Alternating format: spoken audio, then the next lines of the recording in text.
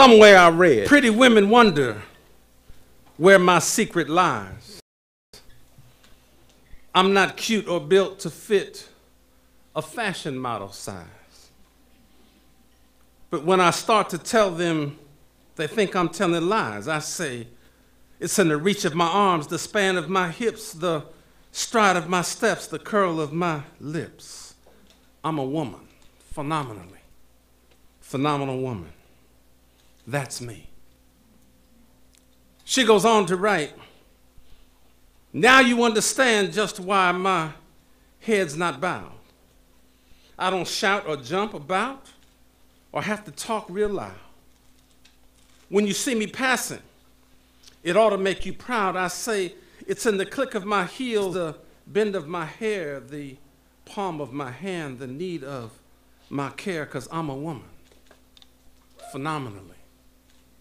Phenomenal woman. That's me. These are the poetic stylings of the great Dr. Maya Angelou. And on behalf of our Chancellor, Dr. Michael Drake, our Provost, Howard Gillman, I'd like to welcome you to the campus of the University of California, Irvine, this magnificent student center, for an evening with Dr. Jean Houston.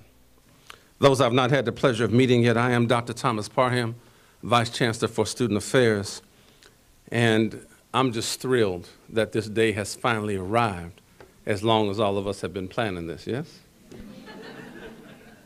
Who's excited tonight, yes? All right.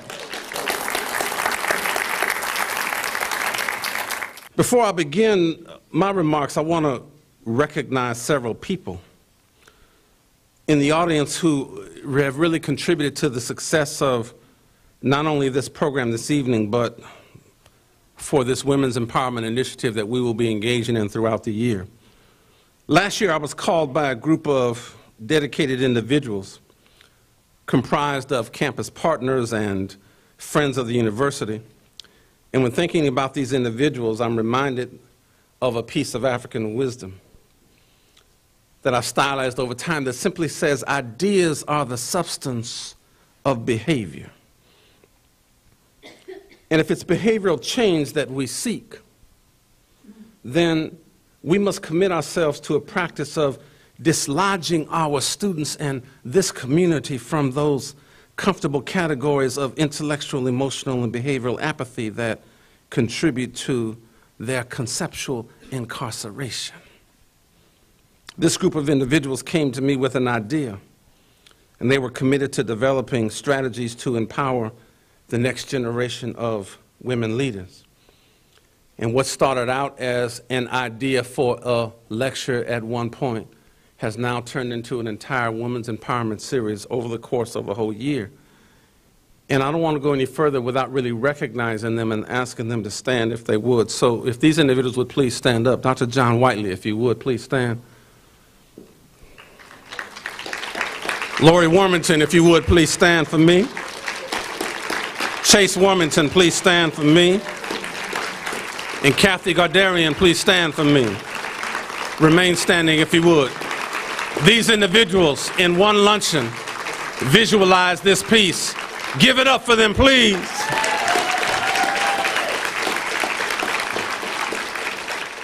For those in the audience who, who know me, you know that I've dedicated my life to kind of multiculturalism in many different fronts.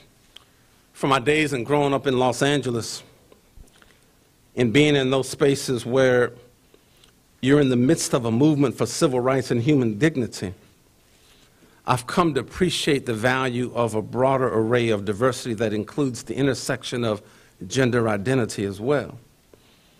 For as bold as the civil rights movement was and is, with all of its leadership, I'm reminded that a young preacher who is one of my heroes is not thrust onto the stage of human history in a pulpit in Montgomery, Alabama, unless a woman has the audacity to sit down on a bus and refuse to give up her seat.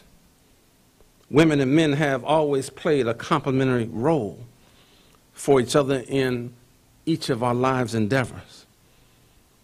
And yet, despite the fact that we should all be living the dream of equity and inclusion, there are entire segments of our population that do not enjoy the comforts of full citizenship.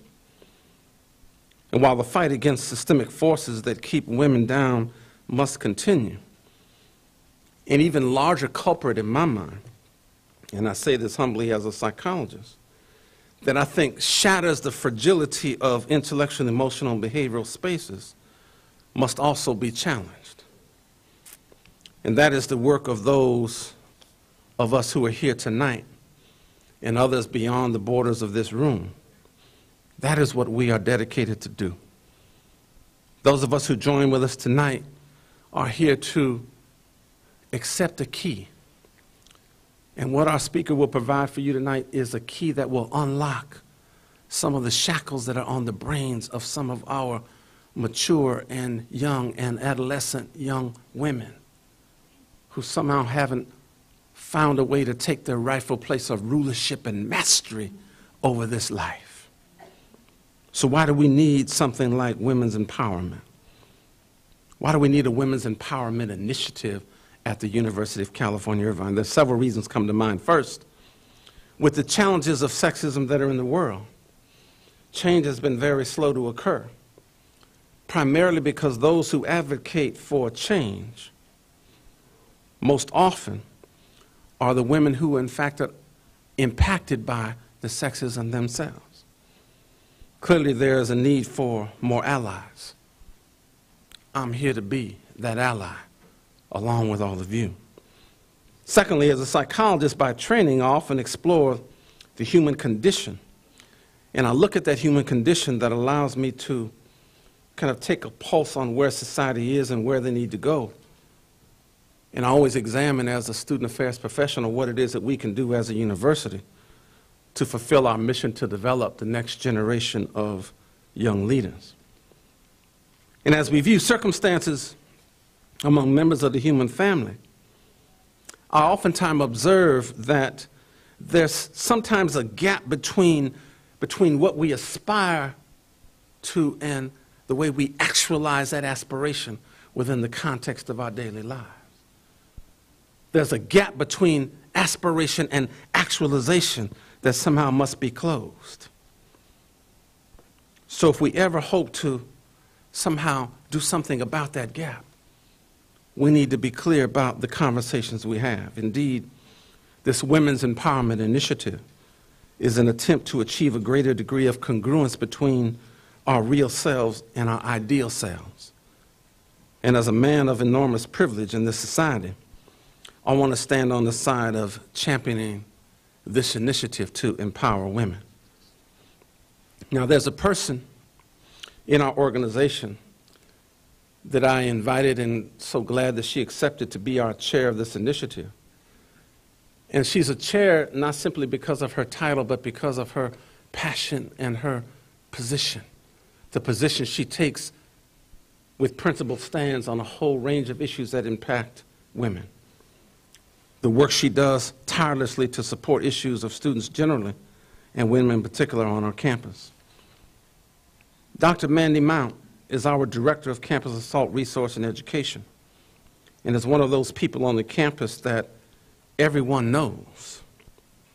But also, it is the reason that she just does high quality work. And whether her ministry, if you will, is on campus, in the region, across the state, and now I found out across the nation as we travel this space together. She is just a champion for what we would define as empowering women. So I could think of no better choice in my organization to lead this initiative on empowering women than to call on my friend, my colleague, our director of the Care Center, ladies and gentlemen, to introduce our keynote speaker tonight, Dr. Mandy Mount.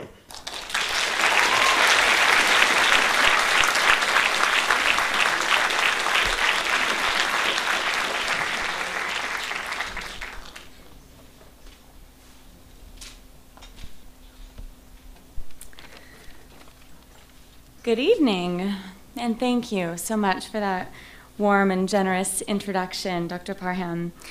It is a real honor for me to serve as the chair of the UC Irvine Women's Empowerment Initiative. And for those of you who are not as familiar with this initiative because it is newer on our campus, I want to share a little bit about the initiative and what some of our goals are and where we're heading from here before I have the honor of introducing our keynote speaker.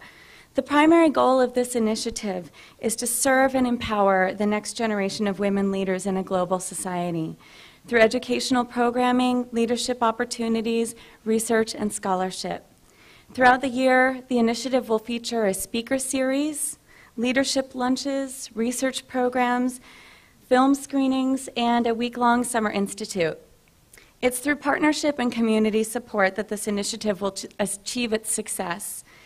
And I would like to echo Dr. Parham's words of thanks to those who are responsible for the development of the initial concept that is now becoming a reality. Thank you so much. I also wish to thank current partners such as Saeed Shokair from our Undergraduate Research Opportunities Program, who's here in the audience with us. We appreciate UROP's partnership with the Women's Empowerment Initiative to further our understanding of issues that are affecting and affected by women through research. This partnership highlights the importance of the discovery process to advance our efforts to empower women and provides mentorship and leadership opportunities through collaborative projects. A special call for proposals sent out one month ago has resulted in 24 and maybe more impressive proposals already. And among these, several projects will be selected for funding and presented at a special session at UC Irvine's Large Research Symposium in May 2014. I would like to invite you all here to join us in this discovery process to attend these and other upcoming events as a part of the initiative. In January, we're looking forward to highlighting the impressive work of speaker Allison Sonnenschein who's the director of Orange County's Women's Health Project and also the co-director of the new UCI Nursing Center, Nursing Science Center for the Advancement of Women's Health. She will share her extensive knowledge on the impact of recent healthcare reform and the impact that that will have on women's issues. I hope each of you will let us know your interests in contributing to our future events, as this work really requires all of us together. Thank you for being here this evening for our inaugural event. And if you wish to contribute, I want to invite you to let us know using the cards that are available outside in the Crystal Cove lobby. So it is without further ado, it is now my pleasure to welcome to the stage one of the brightest and most inspiring people of our time. Dr. Jean Houston's mind has been called a national treasure. She is a scholar and a researcher in human capacities. She's considered one of the most evocative and entertaining speakers on aligning the human spirit, potential, and action with the needs of the time.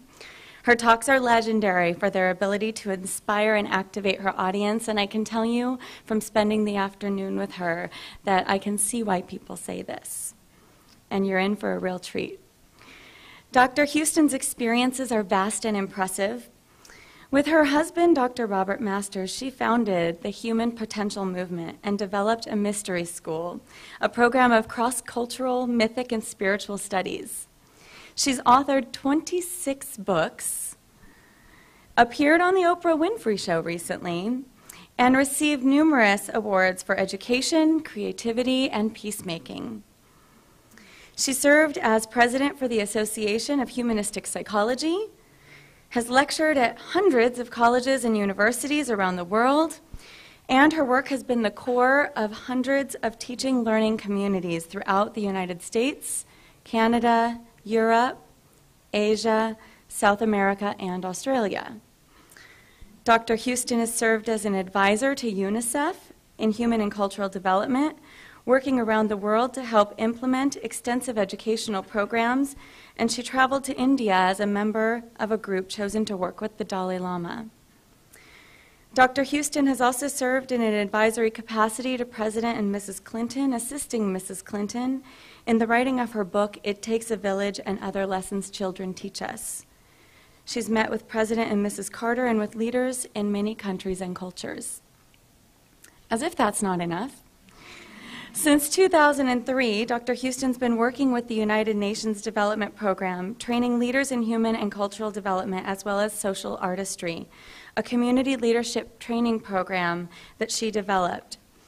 Over the last 45 years, Dr. Houston has worked in over 100 countries and 40 cultures, helping to enhance and deepen their own uniqueness while they become part of the global community and I just had the pleasure of learning. She also got back from a seven day trip in Europe with 14 of the brightest women minds in the world, where they were planning together a world that was driven by feminist ideals, a world that would be understood by and led by women. And I'm sure she'll tell you much more about that. Tonight, Dr. Houston joins us, however, to encourage the inherent possibilities, visions, and capacities that lie within each and every single one of us.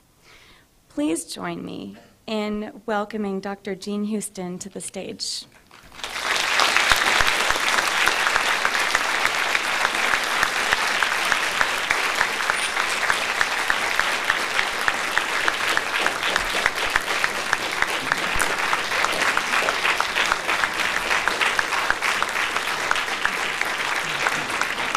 Thank you very much.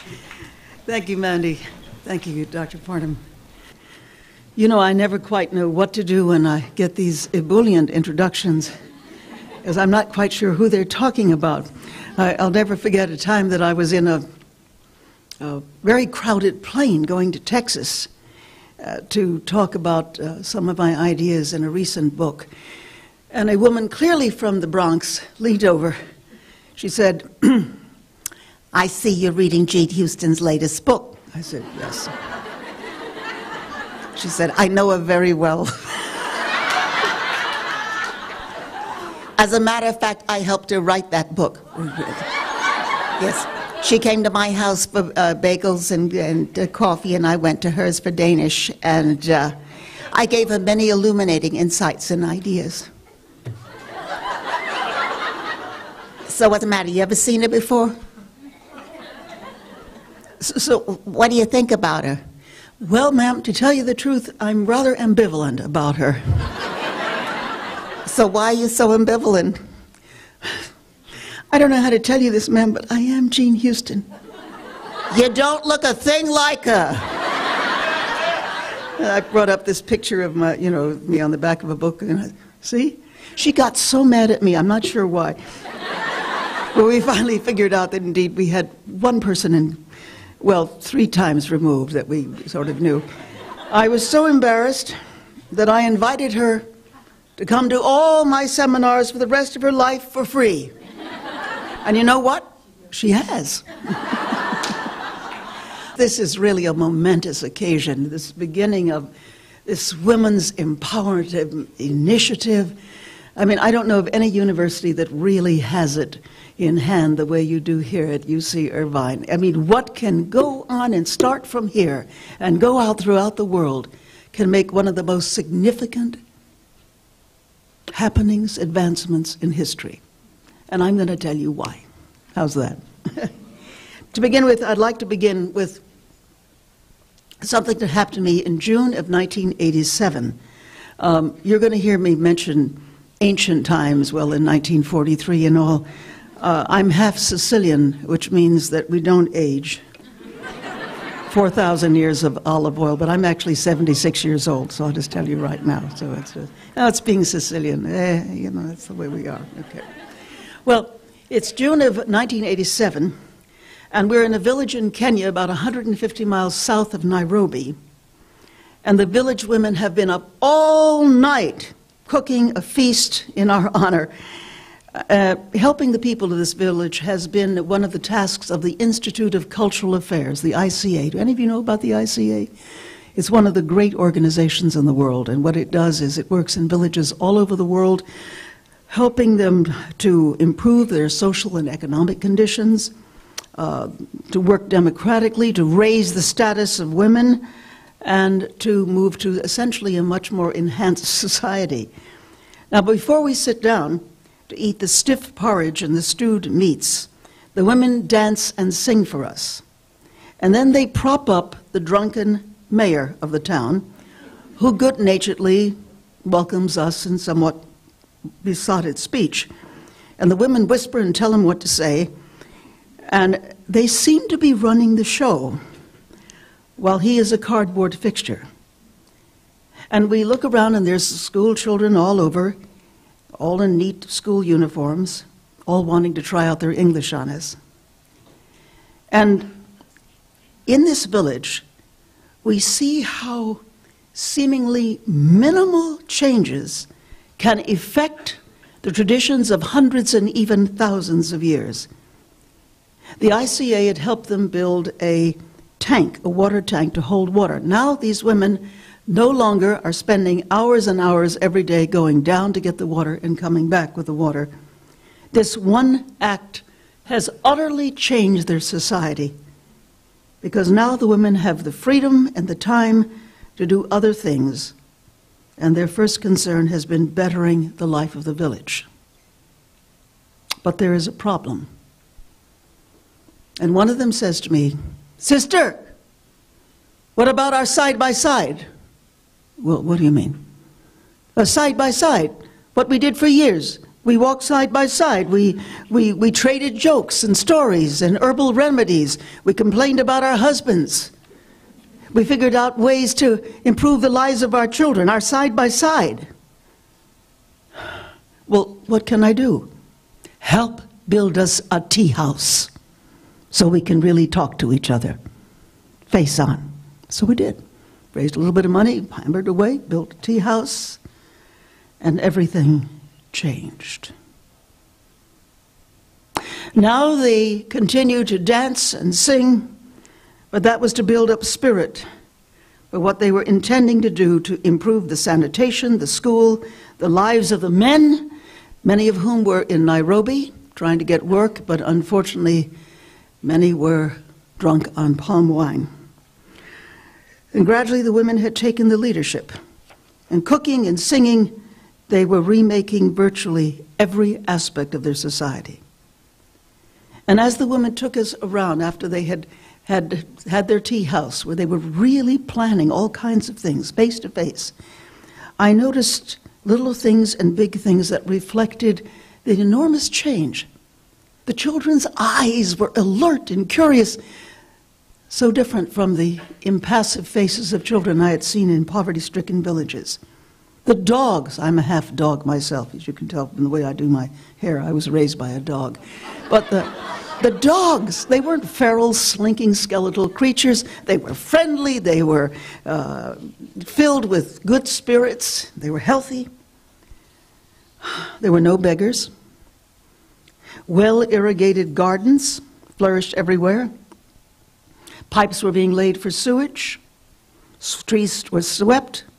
The school had been transformed from one of these horrible, ugly government issued affairs into a merry place daubed with paint and children's drawings, giraffes and elephants and wildebeests. And one picture stood out a crude but powerful rendering of an old woman, her hair a halo of white, sitting up in what looked like some kind of bed. Who is that? I asked the teacher. Oh, that is the one we call. She couldn't find him, and so she and the other women and children tried to figure out what to tell me. She is the one we call grandmother herself. Would you like to meet her? And as we walked together to her little house where she lived, I learned that she was the guide, she was the envisioner, she was the inspiration for the women of the village. And as I bent and stepped through the low doorway and saw her, I knew her immediately.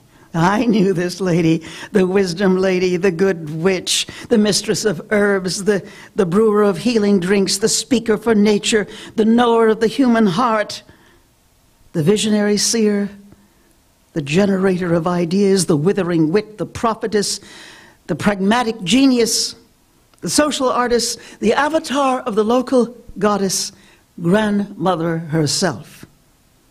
Well, propped up on the pillow, she laughed and laughed when she saw us coming in with our white faces. She thought it was very funny.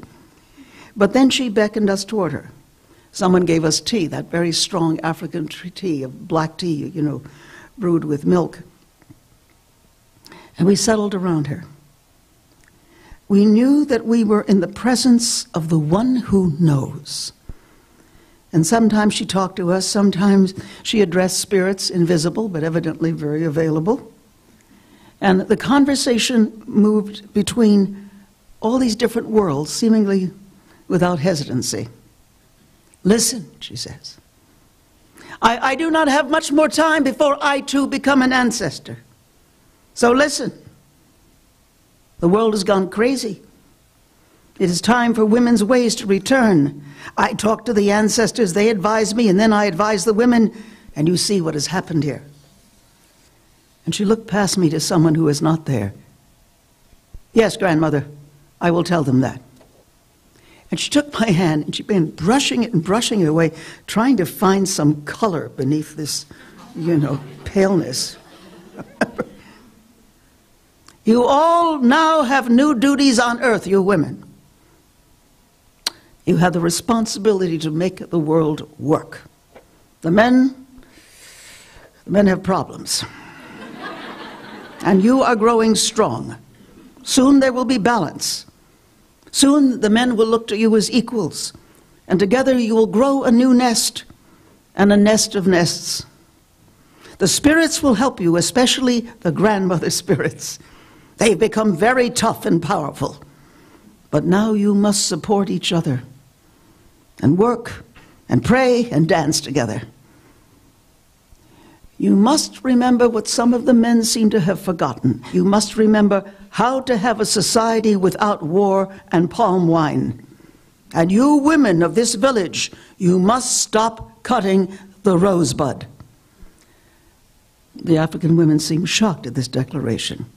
The old lady went on to explain that belongs to the old ways that are dying, old ways that hurt a woman. Do you know what cutting the rosebud is? It's the uh, genital uh, circumcision of women.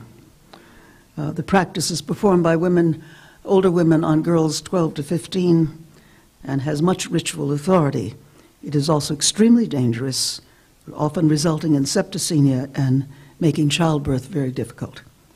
And you, white woman, she continued, you must stop cutting yourself off from your souls. I see your souls over there in the corner, you know, like children who have lost their mamas. Take your souls back. Take your souls back.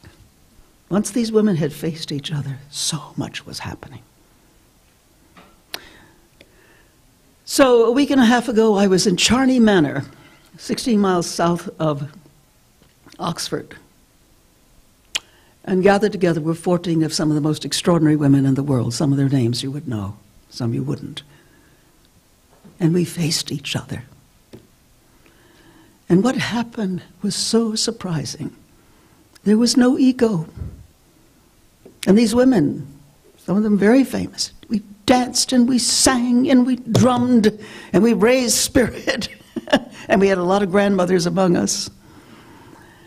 And we did something which I had called these women together to do. Let us together try and design a world that works from a feminine perspective. And let's see what happens. So, indeed, over the period of the better part of a week when we were together, and there will be many, many, many, many more weeks to come, we began the design. And I'll tell you what happened toward the end of my talk. But it was something else again. So, you know, I often attend the conference of high minded folk from many disciplines trying to address the problems of a world passing, an old world passing into a new. And the ecological and the economic distresses have brought many to the table. Some are radical visionaries prompting utopian global house cleanings. Others are reformers devoted to redressing old wrongs. Each attempts to push the membrane that wraps us in unknowing. And with all their practical skill and accomplishments, they are humble before the mystery of a world in transition. A United Nations official from Italy said, it's as if we're, we're in a giant womb and we're, we're trying to figure out what happens next. Eh? You know. And I was very startled by her remark because earlier that day I'd been chanting about, I've been uh, talking about international uh, politics with a Bulgarian cab driver as he drove me around San Francisco. And he said, I have just been present at the birth of my daughter.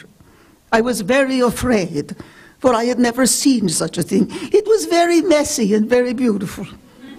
And after all the hours of my wife's labor and the painful contractions, a new life. Eh, maybe that's what's trying to happen in our world.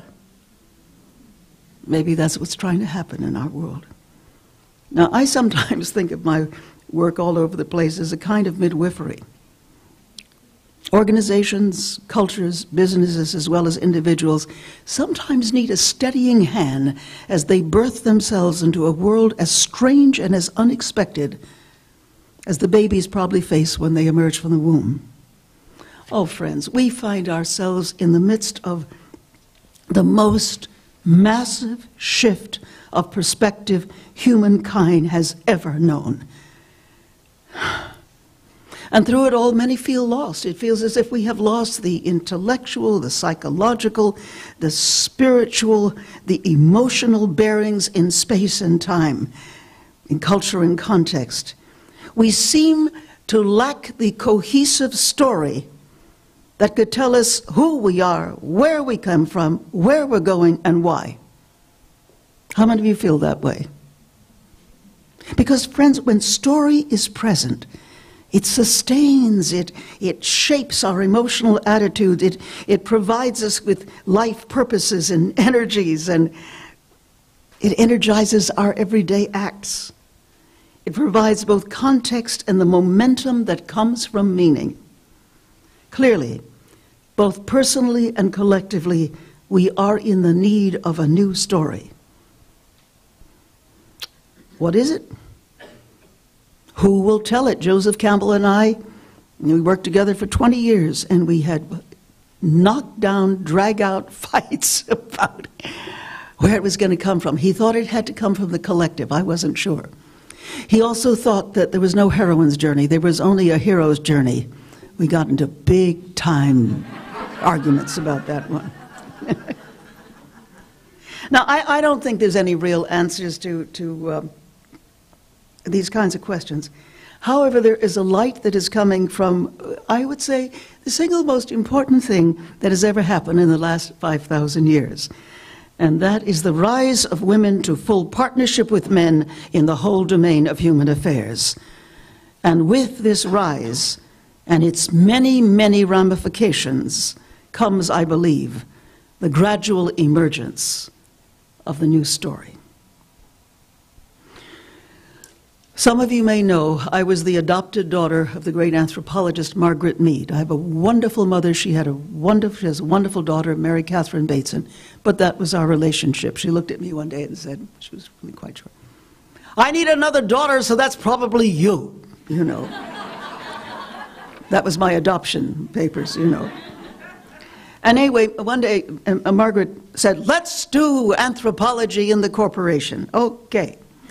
So we went into companies where women were coming into leadership positions uh, so that we could practice this anthropology. And often we saw women modeling themselves along male lines. She said, What a stupid, stupid thing to do. In fact, she was rather truculent and rude, and she would go up and tell people that to their face. You are becoming a second rate man, and you'll stay in a second rate job. And everybody would go, You're trying to disappear. Then she would encounter a woman executive whose, whose style was uh, very different. And with the executive's per permission, we followed her around and observed the way she worked. Look, Jean, look at how she braids her work.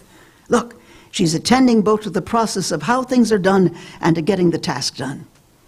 Indeed, the woman in question was overseeing the production of the company's quarterly report, but she was sensitive to the environment of feeling, the environment of feeling among her, employees. She noticed who was feeling left out, who was not voicing in an idea. She had a kind of genius of quickening, of evocation, of getting them to speak, to think, to express. And later over lunch, Margaret, the executive, and I spoke about how women all over the world were challenging the most sexist of institutions, from the medical establishment to organized religion, and replacing them with a new social order. And education, career, marriage, uh, recreation, business, investments, government, and religion were beginning to change as a result. You'll see, said Margaret, within the next 30 or 40 years, women will be both priests and presidents. Why? Because women's resourcefulness and resolve increase as circumstances become more difficult. You think I'm pretending to be her? No, I'm giving you an exact example of what she sounded like. I remember then, an earlier time when I was 15 and 16, I was president of my high school in New York City. And Eleanor Roosevelt, who was just leaving the UN at the time, was gathering together young high school uh, presidents to get us interested, try to get us interested in the United Nations and international work. We had, she was magnificent, Mrs. Roosevelt. You know, she became more beautiful as she got older. She used words as wands, you know, and we felt ourselves evoked, deeply seen, called forth into our larger self. When you were with Mrs. Roosevelt, you left your littleness behind. And one day she looked at me and she said, I will imitate Mrs. Roosevelt. I'm sorry, I grew up in show business. There's nothing I can do about it. My dear, I rather suspect you're going to have a most interesting career. But remember, my dear, that women, professional women, can expect to be trashed. She didn't use the word trash, but something like that. But remember, too, my dear, that a woman is just like a tea bag. You put her in hot water, and she just gets stronger.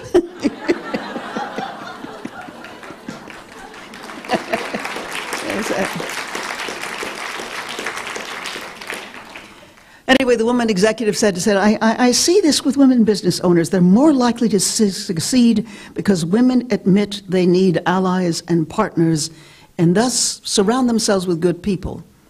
Also, women don't need to work in pyramids or hierarchies of power. I'm trying out a new way of forming people from every level of the company into clusters to look at issues as a whole, not just in the old segmented way. Is it working? asked Margaret, her eyes twinkling. Yes, I think so, or it will. Uh, the men are a little wary, but they're catching on. And it makes for much livelier meetings when everybody feels they have a chance to participate. But, but I said, but what about sexism and violence against women and backlash? They're bound to increase as women become more powerful, bringing up the shadows that I often see in any innovation. Oh, of course they'll increase, said Margaret. You can't turn around the social order of thousands of years in a few decades without expecting a backlash. I wish I could live to see it. I'd know how to fight the backlash. It's a matter of transforming our values and priorities and education. It's a matter of midwifery. And with that statement, she left for a doctor's appointment, and she died, was it, less than a year later. But even in the hospital when she was dying, she wanted everyone to know that all over the world, all over the world, women must embrace their power, challenging the way things are done, building a new social order. And that because of their emphasis on process and growth, women are more geared to team building and leading enterprises through natural growth stages governance, games, education, work, health, society itself can be held to a new standard, one that promises and honors the fullness of who and what we can be, rather than just the collective rights and liberties. And of course, this is happening, isn't it? It's certainly happening right here where you're sitting. Women are indeed challenging the most sexist institutions, from medical establishments to business institutions. And at long last, their deep and full creativity is beginning to be set free, and this is the turning of the world as we have known it. Now, in the course of my work in so many countries in social artistry, which is human development in the light of social change, I am moved to celebration and gratitude for what women are doing to make a profound difference in these incredible times. What is fascinating and what is very little commented on, and something that we laugh about at the UN and wonder why it's not coming out, is why many women of a certain age, the grandmothers, are taking the initiative across a wide spectrum of social change. All over the world, when you want to see who is doing the work, 70% are women. And it's not just hoeing in the fields. It's also taking the initiative. I've been working for years in the Millennium Development Goals, and I assure you it's the women who, and especially the grandmothers, who are calling the shots and making these things happen.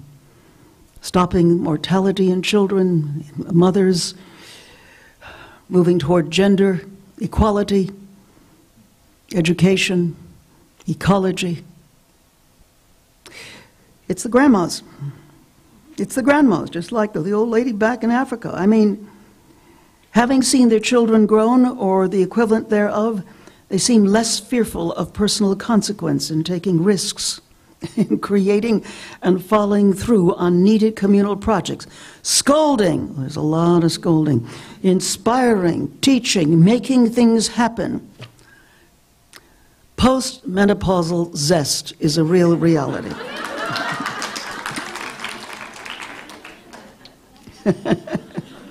and they have the gift of the follow through, without which all culture collapses. Now, the Dalai Lama said not too long ago that it would be Western women who will save the world. Now, with all great respect to His Holiness, I find that although Western women surely have more advantages than most, it remains true that women everywhere are finding their power trusting in developing their creative means and profoundly making a difference in spite of what is often horrible backlash. How many people here are members of women's groups, women's circles? Oh my word, would you stand up, please? I just want to see this. This is for my benefit, not yours. Whoa! If I go anywhere in the world, and that includes in Arab countries, this is what I see, what you've just seen. It's the biggest, one of the biggest movements in human history. Women's groups, dancing, singing, empowering, evoking, raising spirit, raising ideas for each other. This is the huge underground movement that is going on all over the world. Women realize and are taking advantage of the fact that we're living in the time of the changing of the guard on every level in which every given is quite literally up for grabs. I wrote a whole book about this called Jump Time. This is the momentum behind the drama of the world, the breakdown, the breakthrough of every old way of knowing, relating, governing, believing. It shakes the foundations of all and everything, and sometimes it is allows for another order of reality to come into time, including a dynamic partnership society between women and men. Now, through other, throughout history, there have been many cultural shifts, but what is looming before us is a collective shift, faster and more complex than any the world has ever known. Other times thought they were it, they were wrong. This is it. Now, in this time of whole system transition, friends, we can no longer continue to live as remedial members of the human race a new set of values, holistic, syncretic, relationship and process oriented, organic, spiritual. It's rising within us and around us. And these, of course, are women's values, women's genius, women's gift. And though old forces and traditions and old fears seek to restrain us, and many of us know those old fears and those old traditions, the ways of the past still trying to take charge of the ways of the future. Though they seek to restrain us, we know there is no going back. Our complex time requires a wider use of our capacities, a richer music from the instrument that we've been given. The world will thrive only if we grow. The possible society will become a reality only if we learn to be the possible humans we are capable of being. And we're living in the time of the golden age of brain and mind research. And we're just tapping the the top levels of the immensity of capacities we all have. My whole life has been devoted to this. Many women are coming to see themselves as the pilgrims and the parents of this new emerging world. And no old formulas and stopgap solutions will do. In the past, men in governments, in the private sector, have been the partners in determining how the world works. It's not working. It is time now to focus on the role that women, formally, largely ex- excluded, should play in the development process. This is indispensable if we seek a future that is different from the past. Now, wherever and however it is, I feel that the transition that we're in has certain themes that demonstrate at least five great changes occurring around us and through us. The first is the repatterning of human nature. The rise of women today is resulting in a rethinking and redevelopment of human nature. Why? Because for a new world to be born, we have to bring a new mind to bear, as Einstein suggested. And critical to this, critical, friends, is the emergence of the rich mind style of women that has been gestating in the womb of preparatory time in these many millennia. The emphasis, as I've said, is on process rather than just on product, on making things cohere, relate, grow.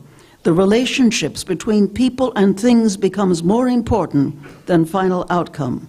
The world within becomes just as important as the world without. This is essential given that we seem to be living in a time in which our very nature is in transition. Now, this scope of change that is happening now I mean, most of you live anywhere between 5 to 10 to a 100 times the amount of sheer experience of your ancestor of 150 years ago. And we're not prepared for that, are we? I mean, we get wounded constantly, whereas in a very safe, inclusive society, we did not. So many of us are so full of holes, we've become holy.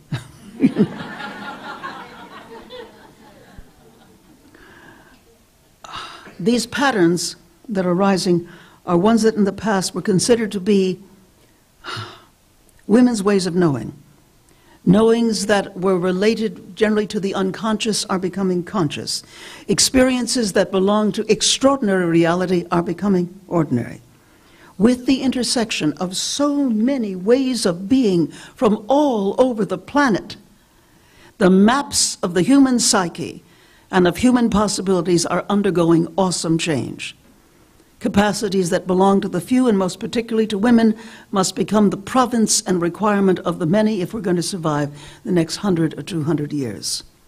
We must learn to tap into the creative workshops of the mind, to solve problems, to bring forth art, poetry, invention. And one of the things that I noticed all over the world is that throughout the world, there's a surge of seminars and workshops and study groups largely attended by women, generally 70%. This is everywhere in the world. Because it's women who are exploring these new ways of being and doing. And yet, most people, women and men alike, given opportunity, given training, can learn to think and feel and know in new ways, can function in their bodies with better use and awareness, can become more creative and more imaginative, can aspire within realistic limits to a much larger awareness, one that is better equipped to deal with the complex challenges of our time. The consciousness that solves a problem cannot be the same consciousness that created it, right? But the consciousness that can rise to the solution needs models of its own matured possibility, visions of what the human can be and do beyond the limitations of academic excellence or dogged persistence to certain goals.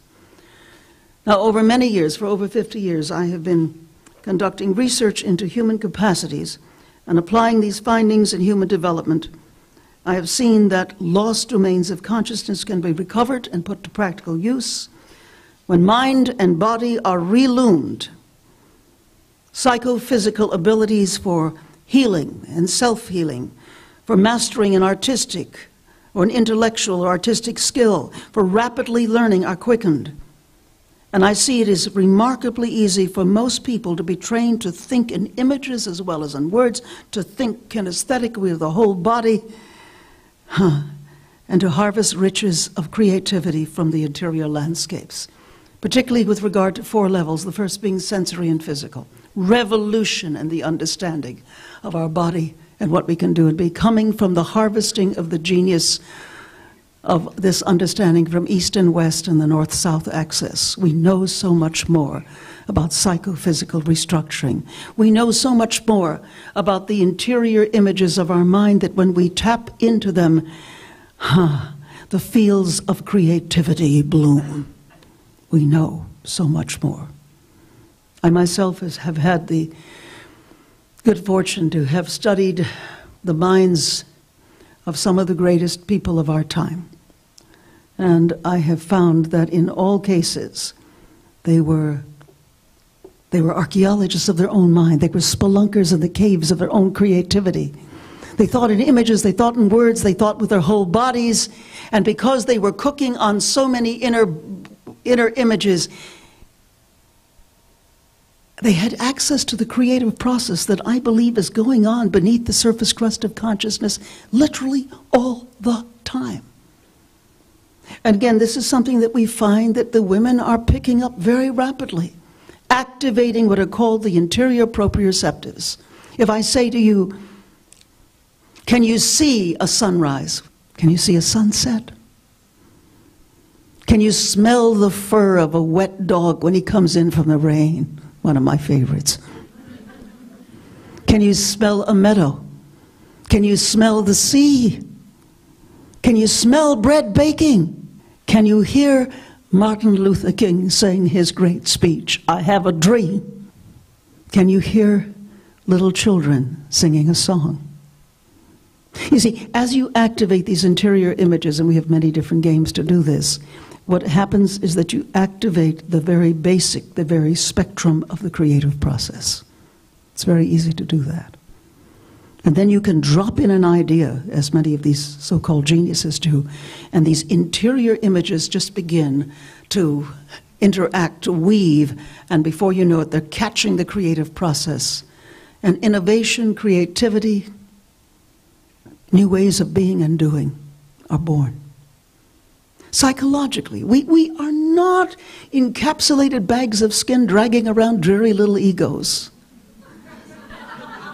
We are symbiotic with fields within fields of life. We are organism environments. Ego is but one image among the multiple images of who and what we are. Many persona.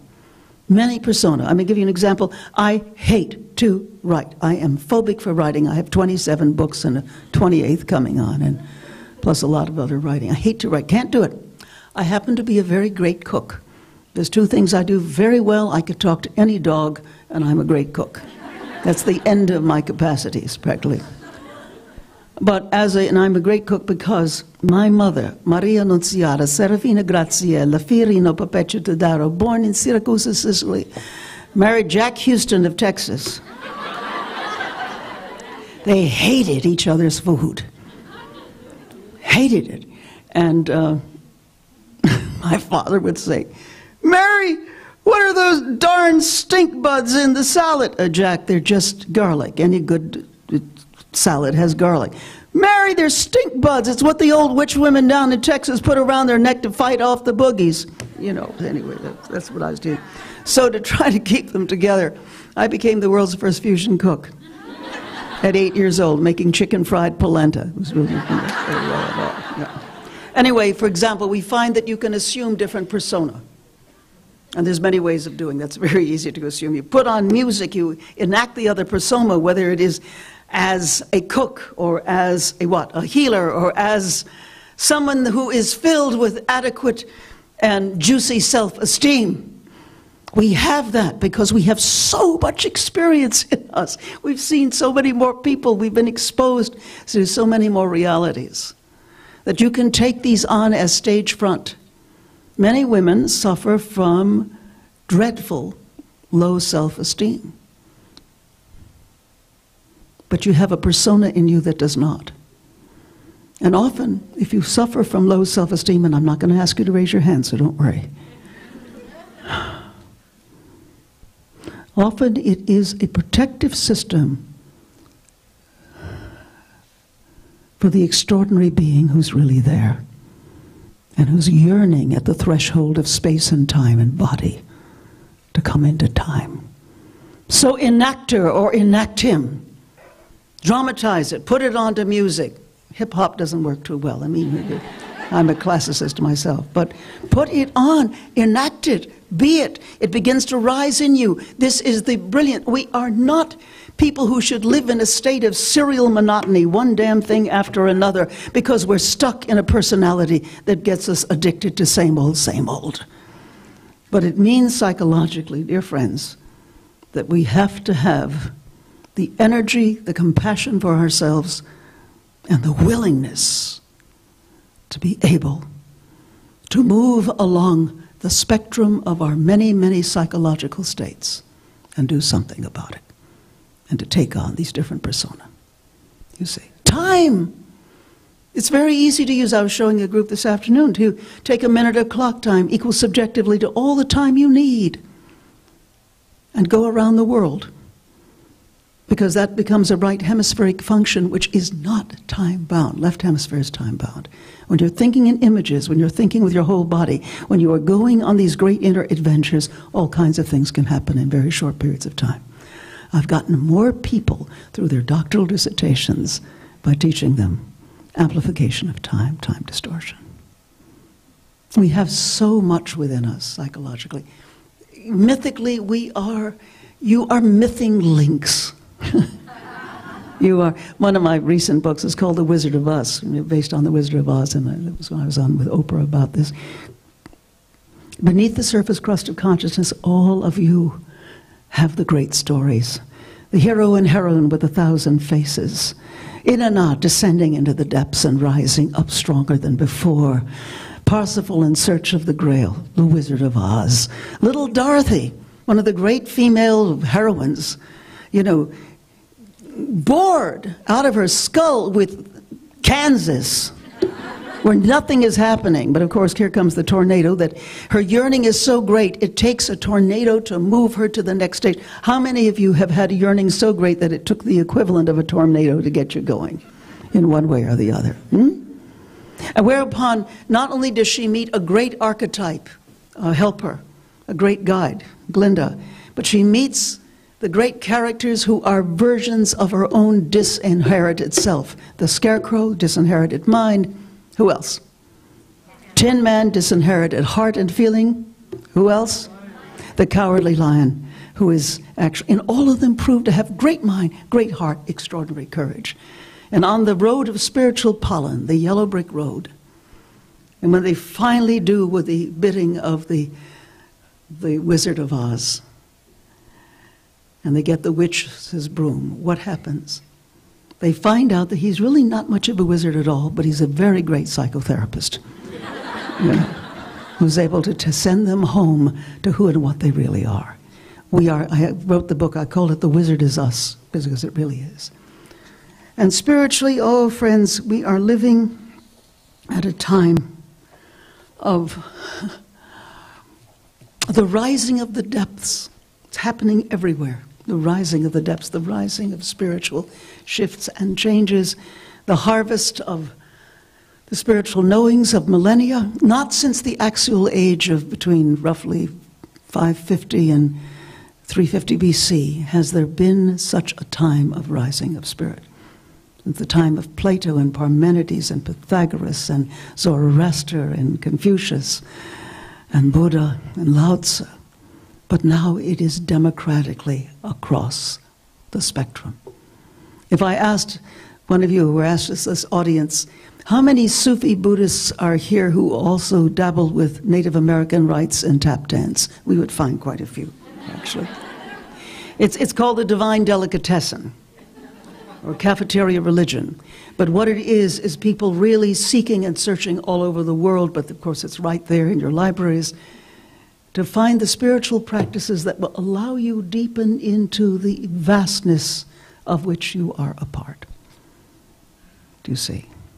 We discover now that we do not simply live in the universe, but the universe lives in us.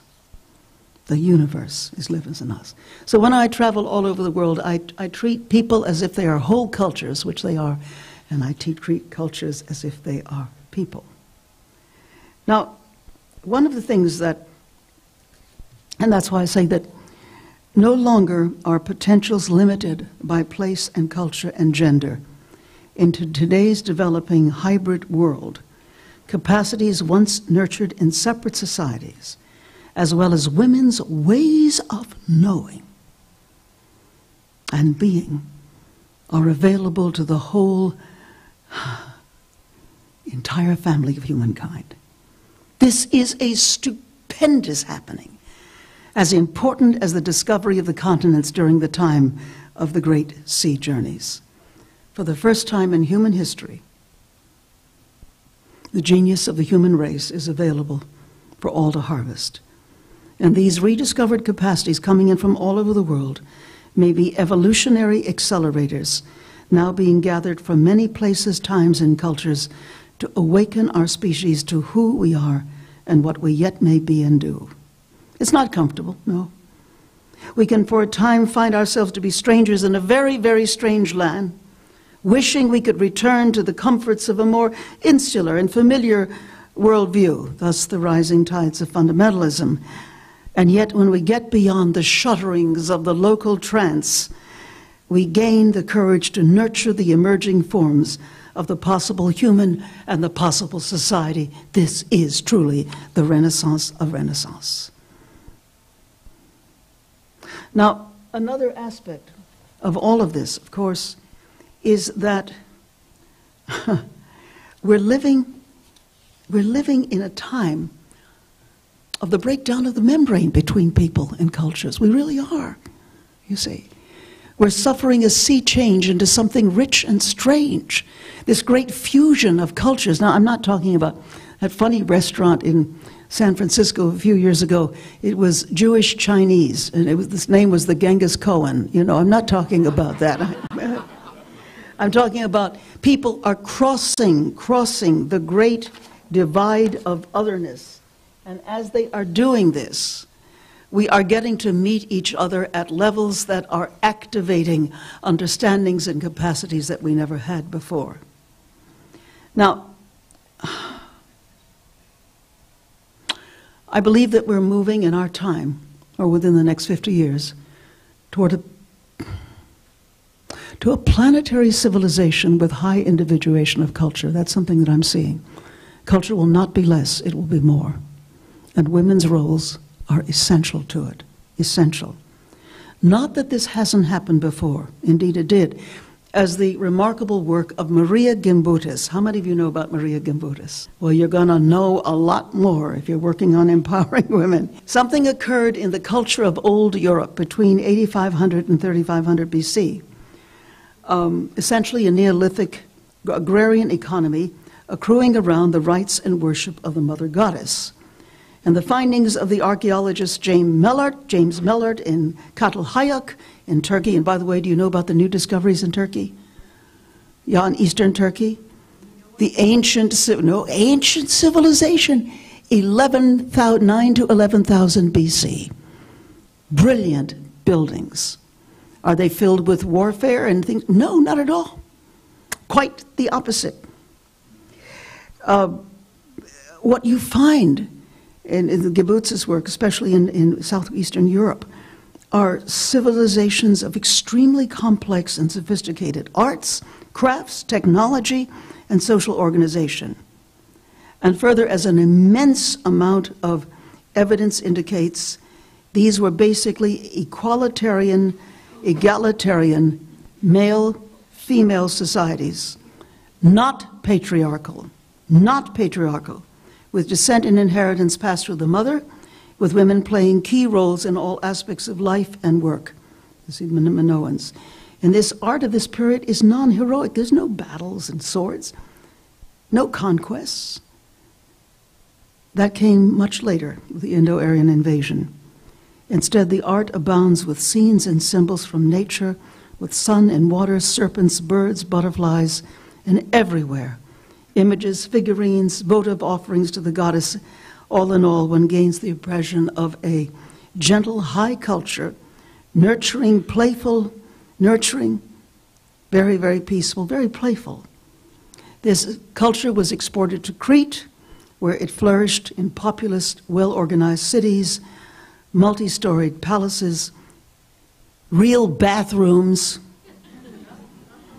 networks of roads, productive farms, modern systems of drainage and irrigation works, a rich economy with high living standards and the lively and joyous artistic style which characterizes the Cretan life and sensibility.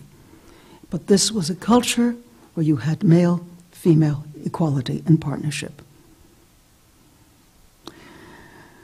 So, the regenesis of social forms asks that governments no longer engage in social engineering to fix specific problems, but rather that they understand the world as an ecology, a complex adaptive system in which global awareness is applied to local concerns.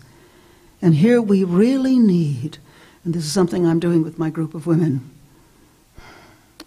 we need models of a new order of relationship in governance, their place in a possible society one in which male and female, science and spirituality, economics and ecology, civic participation and personal growth come together in an integral and interdependent matrix for the benefit of the whole. No longer can the soul of culture and the soul of people be satellites to economics. Economics must become a satellite to the soul of culture and the soul of people. And that's what it will take.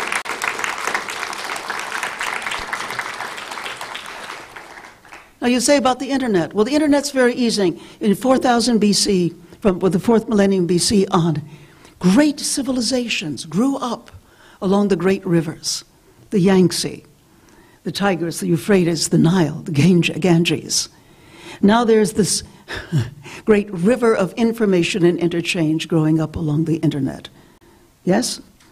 How many of you are on the internet too much? You may want to look at that. I really suggest that when you get up in the morning, you don't read your email. Wait till later in the afternoon. Use the morning for your reflection, your contemplation, your prayers, your inner practices, your dances, the exploration of your own being. But this internet is certainly changing everything. Everything, is it not? Everything the new technologies of social media and exchange of information. And this is where women can lead the way, can enable people to join minds and hearts in mutual discovery and creation. In the interneted world, more and more people are coming to accept the benefits of cultural diversity and to adopt a more inclusive worldview, inspiring human nature with renewed hope and caring. Again, there are women's groups forming as internet formations. Are you aware of that? All over the world, seeding and helping each other. It's tremendous. Now, the breakthrough of the depths. The depths are breaking through, most apparently in the spiritual renaissance that I talked about. And with the inevitable cross fertilization of the wisdom and practices of world spiritual traditions, more and more people are gaining access to the source of our being and our becoming. As the new story begins, the mythic and poetic understandings of many cultures rise and converge. Archetypal symbols, archetypal ideas spring into consciousness or consciously sought in the popular culture, and yet something huge is happening, especially with regard to women, spirituality, and archetypes. Let me give you an example. Some years ago, I was in a village in India on a Sunday. Everybody was coming in from the fields, tying up their water buffalo and coming and sitting down under a tree. And under the tree was hung a television set that belonged to an old Brahmin lady. And they came in to watch the great Indian spectacle, the Ramayana. How many of you know what the Ramayana is? The Ramayana is the core myth of India. There is not a minute, there is not an hour, there is not a second where it is not being portrayed somewhere in film, in video, on the street, street theater, and puppet theater. It is part of the great story of India. It tells the story about how Prince Rama and his magnificent wife, Princess Sita, they are, they are um, avatars of Vishnu and and Lakshmi, and how they are betrayed of their kingdom. And they go to live in a forest idyll in, uh, in the, far, the forest. He is noble, brave, the perfect hero. She is sweet and beautiful and very virtuous and obeys her husband in all things. In other words, the archaic notion of the perfect Hindu wife. But she is abducted by Ravana, ten headed demon who takes her off to Sri Lanka. And then come mighty battles, also helped by the great sainted monkey Hanuman, and eventually Rama is able to rescue her. Now we're watching this beautiful performance, and I was thinking how gorgeous these magnificent costumes, this beautiful poetry, tremendous music. I mean, it was, it was morality, it was religion, it was virtue, it was hopping good musical theater. Everybody was enthralled. When suddenly the old Brahmin lady who owned the television set turned to me and said, Oh, I don't like Princess Sita. She is much too passive. What? She is much too passive. We women in India, we are much stronger than that. They should change the story. But, madam, the story is at least three, 4,000 years old. That's right, it's very old fashioned, but it's time to change it. Terrible example. You know, have her moaning and screaming. It's, it's disgusting. It is much better that she should take a hand in her own rescue. Terrible example. We have to change the story. And then she said, my name is Sita. My husband's name is Rama, very common in India. He is a lazy bum. Any demon got him, I'd have to go and rescue him. Anyway, so she was translating, and I guess it was Gujarati, to the, uh, the peasants who were sitting around, and everybody was agreeing, especially the women. I mean, it was a, it was a revisionist dream. I, I tell you, it, it was as if in the middle of Mississippi, I had a group of Baptists who were rewriting the Gospel of Mark. I mean, that's how radical it is. We have to change the story. Well, when this beautiful, beautiful, beautiful story ends, what comes on next on television, downloaded from the satellite? But Dynasty. I am so embarrassed, I should say. And the old lady looks at me and says, Sister, why are you so embarrassed? Can't you not see it is the same story? How can you say that? You got the good lady, you got the bad lady, good man, good man. You have beautiful clothes, people flying through the air. You have good versus evil. Yes, indeed, it is the same story. indeed, it is the same story. For this, dear friends, is the way that the myths are changing. The myths are where women must have equal stance, genius, intelligence, courage, as Dorothy does, of course, in The Wizard of Oz. And not only that, but also you need people, notice this in the Changing the Myth, of all ethnicities and of all ages, all gathered together to do what? To change the story. And it is happening. That's part of the new story. That's part of the new story. And it is, it is thrilling that it is happening. So you see, the new mythic structures help us understand that is the belief that humans are not alone as we face the massive transition that is upon us. That's part of the new story. Rather, we are embedded in a larger ecology of being. Its motive force arising simultaneous from the plant that is our birthplace and the stars that may be our destination, whether they're the inward stars or the outward ones. Pulsed by earth and universe toward a new stage of growth. We are waking up to the realization that indeed not only can we, but we must become partners in creation, stewards of the earth's well being, conscious participants in the cosmic epic of evolution. As ancient peoples have always known, the story is bigger than all of us, and yet desires our engagement, our love, and our commitment. People everywhere, I find, everywhere, are feeling a call, a quickening, an energy that brooks no whiny naysaying an invitation to the evolutionary impulse that drives our growth and suggests how we might learn to ride and direct its energy. So it's time, frankly, to ask the great questions. How can we actually make a better world? What must we do to serve the emerging new story?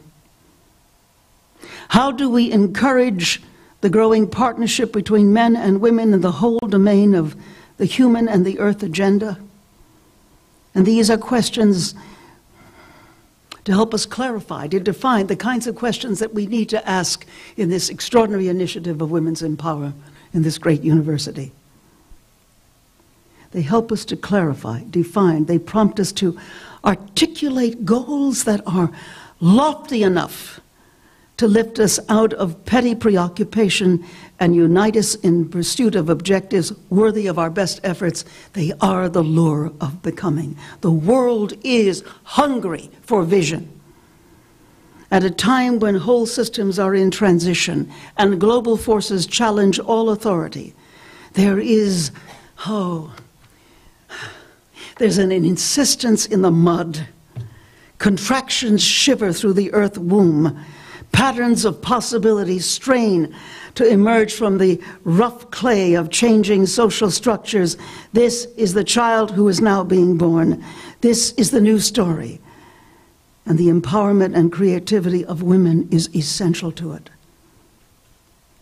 Now, let me finally just share with you a fuller example of the emerging initiative that I briefly mentioned in the beginning of my talk. women designing a world that works. These extraordinary and unusual women coming together from all over the world, from every continent. And talking about it, I think, is relevant for the purpose that unites us here today. We call this initiative Emerging Women, Emerging World, because what unites us is first that we are women emerging, emerging in the true sense of the word. And often from some pretty rough neighborhoods and bombed out corners of the globe. With us was the first woman secretary general of a political party in the Middle East, also the former Palestinian minister for women's rights. With us was the first female bishop from turbulent Georgia in Central Europe. With us was a remarkable actress, activist, actress activist from Zimbabwe who uses theater to stop Mugabe's election violence. With us was a Scottish peace activist, three times nominated for the Nobel Peace Prize, for having the audacity to get top military and political leaders to negotiate secretly on nuclear weapons at the height of the Cold War. With us is one of the greatest uh, creators of new peace images of a peaceful civilization in the world, Rama Mani. With us also was one of the major leaders of the United Nations and the director, former director of leadership and development for the United Nations, Monica Sharma. With us was Hazel Henderson, one of the greatest economists in the world. You get a sense of who they were, and many, many more. What united us is that despite the big challenges each of us women is dealing with daily in our own backyard, we are drawn irresistibly by the call of the future, the emerging world that we know is more beautiful than our dreams and imaginings, and is beckoning us the lure of becoming. So, how, who are we then? We are not an organization in the old static sense, but rather an evolving movement of women from diverse continents, cultures, vocations, and professions, united by our unshakable commitment to the future of humanity and our home planet. A commitment I really believe, friends, that we share with all of you in this room and with those of you who have the audacity and the creative chutzpah, genius, requirement to make a new world in this empowerment of women. What is this vision that pulls us together? It is the vision of an emerging world that is compassionate, inclusive, equitable, creative, and beautiful. We are carried forward by our conviction that it is entirely within our means as a species to transcend our current crises and enable the emergence of such a world that works for everyone. You would say, How dare you say a thing like that? Well, I say it because I've spent 50 years exploring the human capacities. And beneath the surface crust of consciousness, friends, we have the capacity to make the changes. But it's going to take all of us together, men and women alike, to make this happen. Why, you may ask, and why now? Because it's jump time, because crisis is opportunity disguised, because humanity stands at the brink of self wrought extinction, because despite our technical and scientific progress, we have made life on earth unlivable for the majority of our fellow beings and untenable for future generations. Because we have outgrown our divisive economic and political systems. They are archaic and our destructive habits. And we long for humane, regenerative ones. Because through our misery and despair, we yearn to unfurl ourselves to our true potential because we know we can bring back into being the emerging world of possibility that corresponds to our highest aspirations. Because we as humankind are ready today to take the leap of faith towards a new beginning. And because we as emerging women from all parts of the world allied with our sisters everywhere, are willing to take the first steps. How do we plan to go about this great creative task? These are the early days of our planning, but I can already say that to fulfill our purpose, we intend to sow new visions of the emerging world and to take them around the world, especially to the most troubled parts and remote cultures so we can enrich our visions and embed and ground them in diverse human realities, to set up teaching, learning communities everywhere, to set up the teleseminars to teach, to learn, to evoke, to train, and to co create with each other. To crystallize far sighted strategies for transforming crises and ally ourselves with enlightened decision makers and youth and people's movements to enact them to fuel and activate women rising on all continents. For despite the spiraling violence against women in all parts of the world, what is undeniable today is that there is a groundswell as women of all backgrounds, races, and cultures are rising to create value, to foster beauty and the arts to inculcate creativity as our most precious and vital human capacity. And we plan to champion, and we're already doing that, championing young artists and support women artisans who embody the values and visions of the emerging world. You will ask me, For whom do you work? And I will answer you, For all those living today and for all those still to be born. For our mother planet, of whom we are a part in the interest of our shared survival, our common thriving, and for ourselves, so that we can live out our destinies, write the new story, and live at last in alignment with our own values and our highest potentials. With whom will we work? In this great and joyful endeavor, we know we are not alone. We are all together. All of you in this room, in whatever small or big ways you feel called to be part of this new movement, this global rising, this empowerment of women, this rising of co creators with men, dreamers, builders of the emerging new world. And by the way, this emergent of women releases men to be what they really can be. No longer struck, caught within the strictures and the structures of the old archaic patriarchy.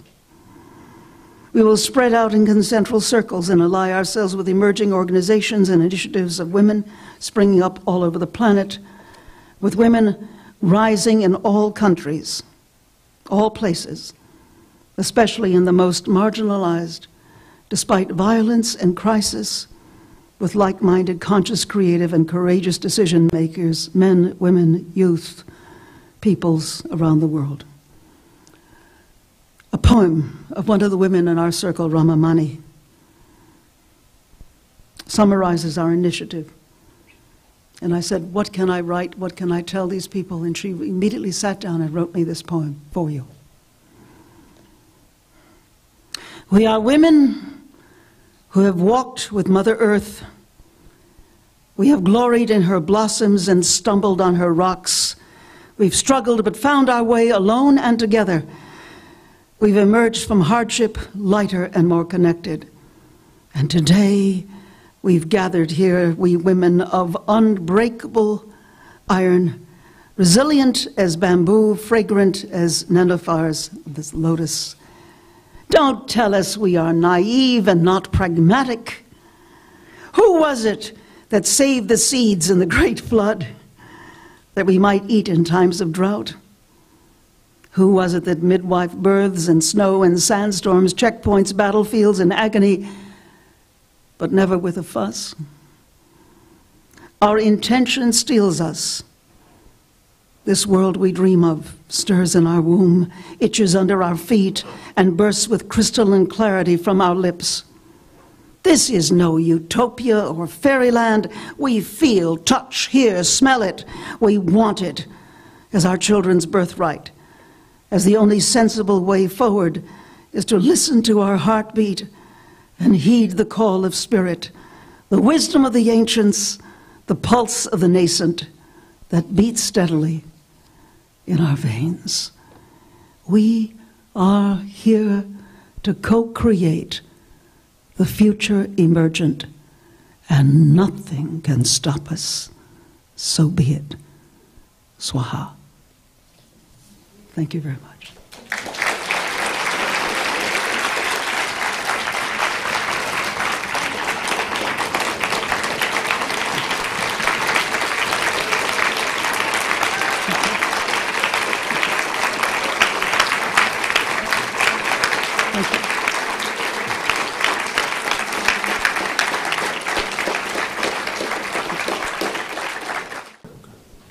Let's take a few questions, thoughts, feelings.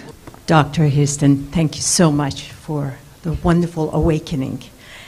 I, um, my question is first r- referring to the Minoan culture that Yes. you t- uh, brought up, the rise of uh, new uh, way of living for women and to the world. Yes. You referred to the uh, resurfacing of, of that culture, the women uh, from Minoan goddesses. And you also referred to the rising of fundamentalism, which is a paradox, um, the issue that uh, we will need to deal with in this mid- midwifery that we are dealing with. And I'm just curious as to how you predict and how you foresee the clash of the fundamentalism as well as this new birth for women's uh, side by side. Well, I frankly see it as a necessity, as a great play of the dialectic between opposites, which is inevitable. Whenever you have a major renaissance or a major movement or a major shift in human consciousness, you always, always have the rise of the older order. Always. Some will call it entropy, but some would call it a way to constrain and make you hone your excellence, hone and, you know, make sh- and sharpen your instincts, hone your, your, your cunning, your capacities to go deeper. Because if it was just la la la la la, upward and onward, nothing much would happen. And you would bore yourself to death. You'd bore God mostly, I imagine. so I think it is the great dialectical struggle. That, and you will always have that. People looking for the older order, which they think was the perfect one that no longer exists. But remember, the rise of fundamentalism everywhere is also part of the necessary rise because of acceleration. This is jump time. Things are going faster and faster. And people don't have any solid ground. And so they're looking for a remembrance of a solid ground that never existed.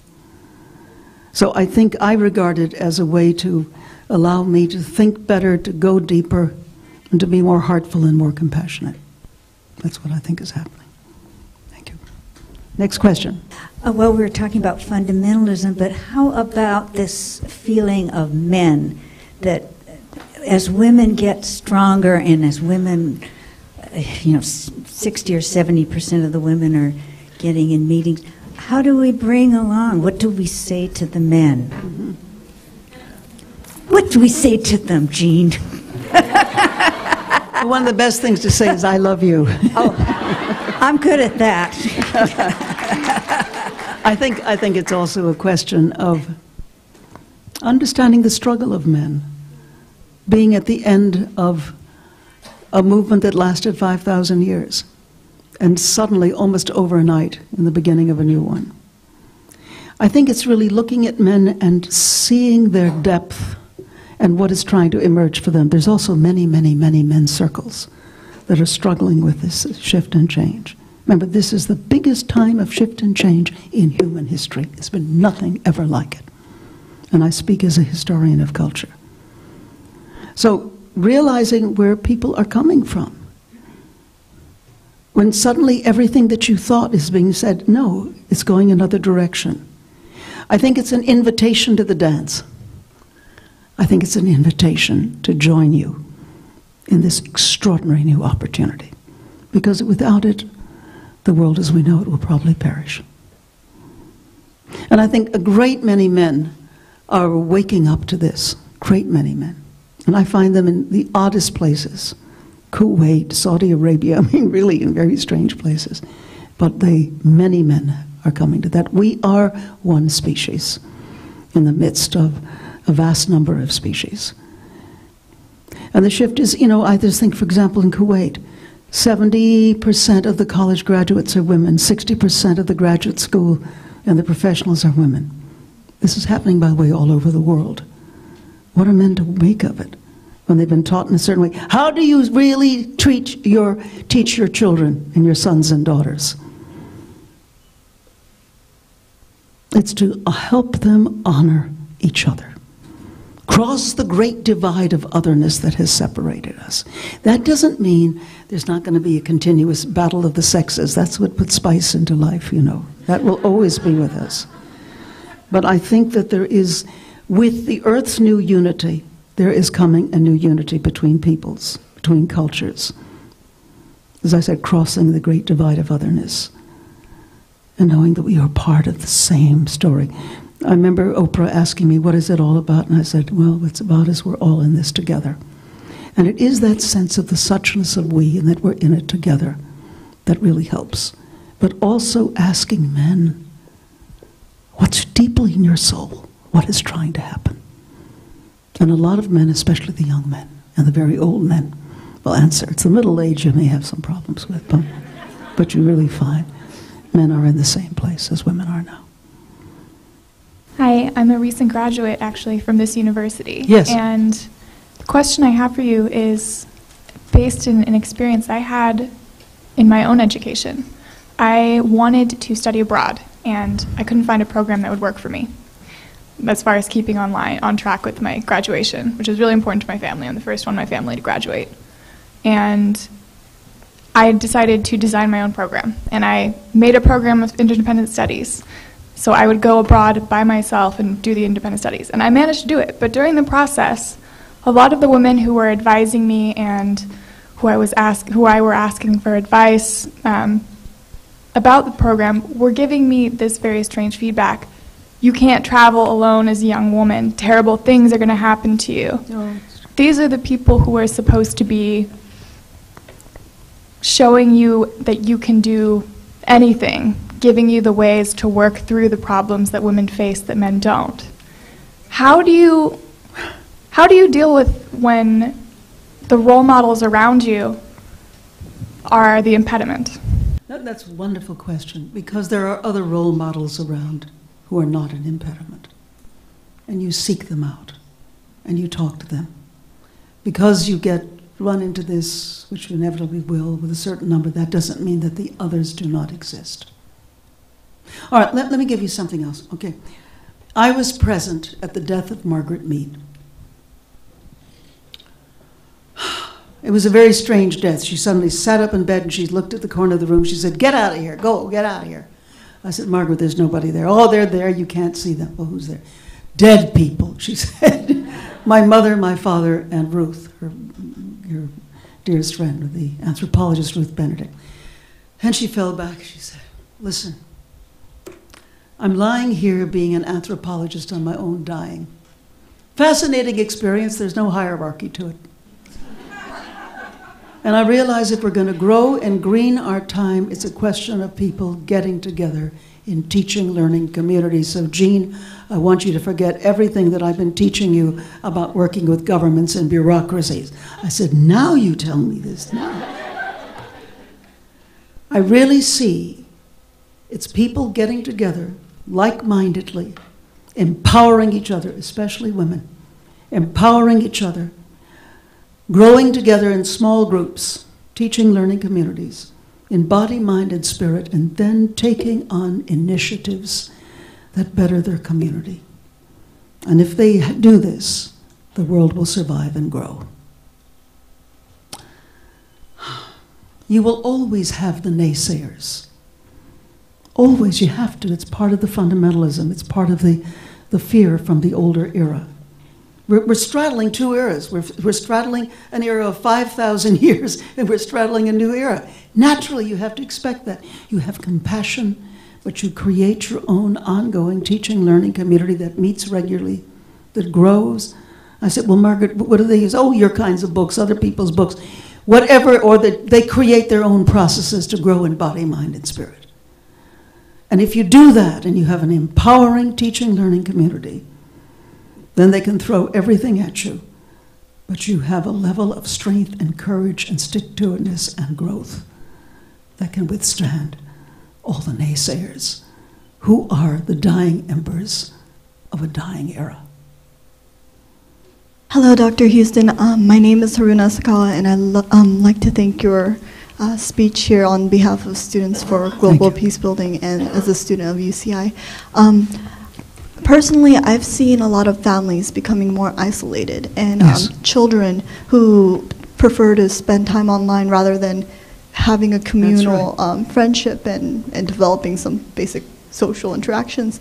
And uh, my question for you is that um, within this society where it's fast paced and so easy to lose track of family values, how can women balance both the role of a loving mother and also um, stand her ground in such an economic driven society? You know, it reminds me of a cartoon I just saw in the New Yorker. It said Thanksgiving dinner, and there were two adults looking bereft because all the kids, the teenagers and the little kids, were all under the table, you know, on their smartphones or their iPads, you know. No, they were not sitting at the table.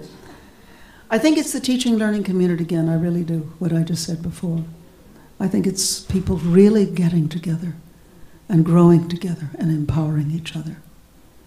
And you get so juicy and feisty and full of beans, you know, in this way that people begin to become attracted to, goes, attracted to that kind of energy. It's a matter of energy and it's a matter of raising the energy through love, compassion, mutual growth, insight, and above all, having a passion for the possible and the courage to be. Thank you. Thank you very much for the presentation. Um, mine is more of a thought, I would say. Um, I was just thinking and reflecting about the presentation, and one of the things that came to mind was not, um, you, you did mention, and I think we've seen kind of like a battle of the sexes over time. And it's really about a combination of the sexes. Women and men are not alike. And I think we do and think differently in many ways. But um, to become a better society, we must work like in a way like a battery. You have the positive and the negative side. And if you power those two together, energy flows. But if one side is not as equal as the other side, then there's nothing left. Thank you very much. I quite agree. And by the way, we're living in a society in which you have transgender, cross gender, multi gender. Maybe there's eight genders. Maybe we should just sort of expand the spectrum, you know. And I know that this is a university that honors that, you know, the great, the varieties of gender and sexual experience. So, uh, wasn't true in my day back in the Stone Age, but I think that. Uh, that's part of the human capacity, you know.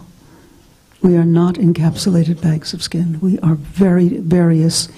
Each one of you is so different from the other. When I study and take depth probings of the human psyche all over the world, I mean, you're not just flaky, you're snowflakey in your variation. I was just um, reflecting on your time with Margaret Mead and talking about how women in the workplace are Yes. trying to be a lackluster male. And I grew up with the dominant role, role model, the person that's showing me how to work hard and how to succeed, being my father, being a male. And I'm coming to a crossroad where I am trying to figure out how to use the emotionality of being a woman and and the the characteristics that I'm given as a woman and using those to empower myself and become successful. Yes. Um, I'm just wondering how to do that because all I know is to think the systematic way, to think like a man, and I, I would like to know some of your advice for me growing to this grandmother role in the future, how I can, how I can get to that wise Yes. Art, music, poetry, painting, thinking in different ways, writing with metaphors, getting yourself suffused in nature and then talking about it or painting about it or dancing about it, expressing yourself in many, many ways, doing women things. Losing yourself. Being there deeply with another person that, so that you have leaky margins. And above all, being in service to the others, empowering each other. When, when you see a person who is struggling in, in whatever way, being there for them, being present is one of the best things that you can do. I assure you, if you follow just a few of these, my friend, the woman's ways will come back to you because they are ingrained in your nature. Does this speak to you? Thank you. Thank you. Well, I didn't think I'm going to be the last, the lucky one. Uh, hello, my name is Sophia, and I greatly appreciate. I Great know your work for many years. I'm sorry, did I say something? No, I'm just saying it's a great name, Oh, yes, you're absolutely right. Although my parents didn't know what it They meant when they named me. uh, so, and I'm grateful that I have a chance to see you in person. Uh, your experience traveling across the globe uh, greatly, greatly empowered you. Okay, As you can hear from my accent, I wasn't born in the United States. No. and 15 years ago, I happened to live in West Africa serving Peace Corps. So I have a little bit of a traveling. Where are you from originally? From Ukraine, former Soviet Union. Uh, I've been back from Africa for the last 15 years, and I have noticed I'm getting sad. And these two young women triggered this in me. We live in a bubble here. And from your experience more than mine, uh, women who come from a challenging situation, challenging countries, become more powerful. And I want to know how we, who have this, I don't know, call to empower each other, how can we bring these young people, or not even also young, who live in a bubble, in, in, in isolated world from everybody else, how can we empower each other with this passion that you bring from, you know, everywhere? Thank you. Well, if you're not passionate, pretend that you are. No, I really mean that. Act as if. Act as if and dance about it and sing about it. Take an idea, don't just think of it intellectually as an idea. Ideas are things. Incarnate your thought. I think that, well, you know, you remind me of something that happened to me when I was eight years old. I went to one of the great, out of the 20 schools I went to before I was 12, because my father was writing the Bob Hope show, so we were always on the road. But my favorite school was PS6 in Manhattan, which was one of the great innovative, creative schools. And we were taken to meet the great elders of the time. We went and met Albert Einstein, who told us to, to get as smart as he was to read fairy tales and then read more fairy tales. In other words, activate our imaginations. But then we were taken, my teacher said, Children, today we're going to meet Helen Keller. You know who Helen Keller was? Yes. And uh, she read to us about from Helen Keller's extraordinary autobiography, where she says, For the six years of my life, first six years, I had no concepts whatsoever, and my teacher, Annie Sullivan, tried in vain to help me associate word, you know, tappings with things. I couldn't get it. And finally, in frustration, she pulled me out to the ivy covered pump house and into one hand she pumped a cool, clear something, and the other she tapped out W A T E R, W A T E R. And Helen writes, I stood still, my whole body rapt.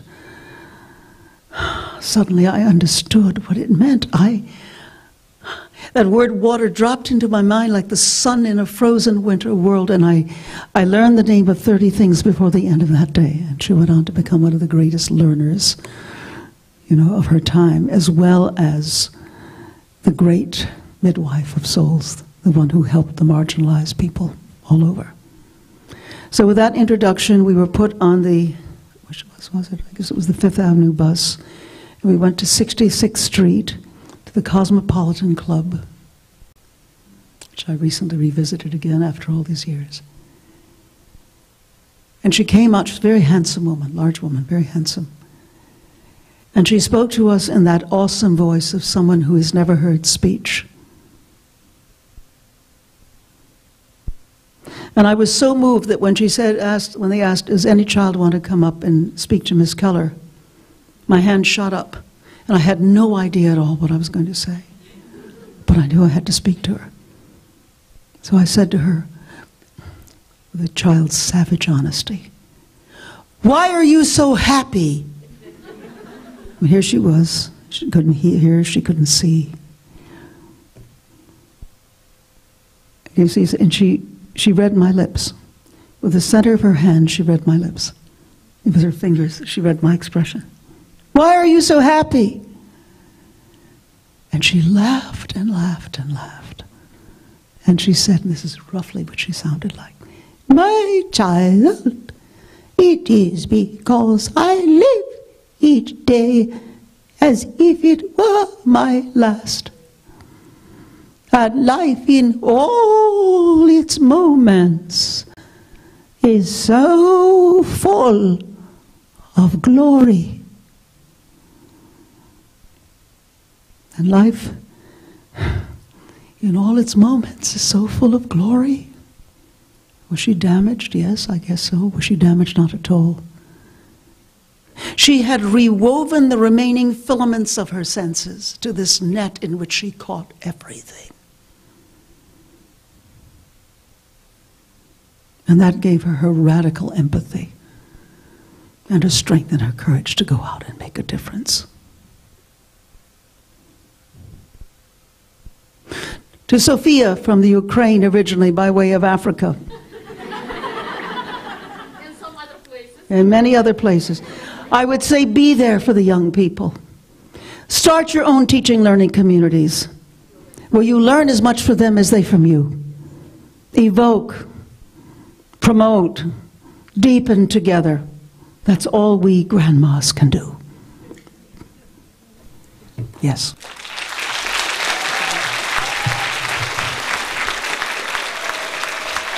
Ladies and gentlemen, before closing this evening out, I want you to know that programs ex as extraordinary as what we've witnessed tonight don't happen by accident, and there's a lot of just love and support and passion behind this Women's Empowerment Initiative. One of the best things I do as Vice Chancellor is surround myself with great people, get out the way, and just let them do what they do. Uh, please say thank you to Kelly Carlin, to Cindy Love. Stand up for me, please. Jess, where are you? Taking pictures, probably. Marguerite Badu Hammer, Karina Hamilton. Please stand for me. Give it up for these ladies, please.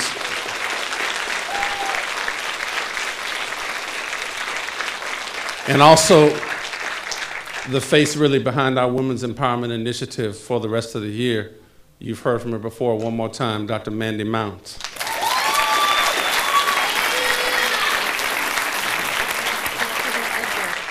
I said to a group of students earlier that in life I've had a blessing to meet lots of different leaders. Some of them are very expert at being able to execute transactions.